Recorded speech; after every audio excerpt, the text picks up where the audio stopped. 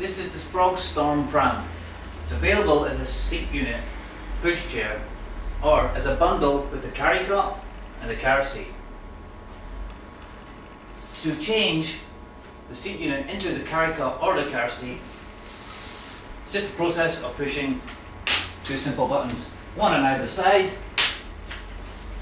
and then you just lift up. Today we're going to change it for the car seat unit. You just place the seat unit, lining up the two levers to the holes and push in. And your baby is ready to go, facing you. To take it out again, push the same two buttons and lift. And it can be facing in a different direction. Like so.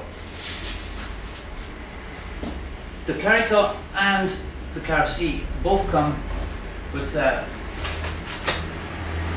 separate aprons and a five point safety harness. Pause.